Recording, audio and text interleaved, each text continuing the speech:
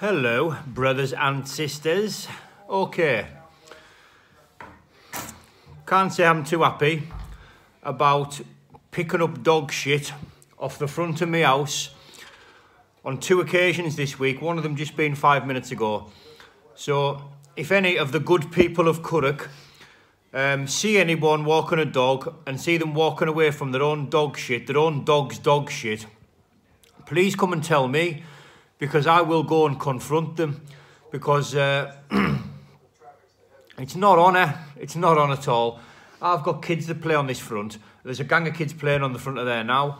If you've got a dog and you're going to take it for a walk and you're not going to pick its shit up, then quite frankly, you don't deserve the dog. And um, if I'm out walking my dog, or if I'm out at all, or if I look out of a window and see anybody letting their dog shit anywhere around here, and walking away from it, I am going to come and get in your face. And it's up to you how you want that to end.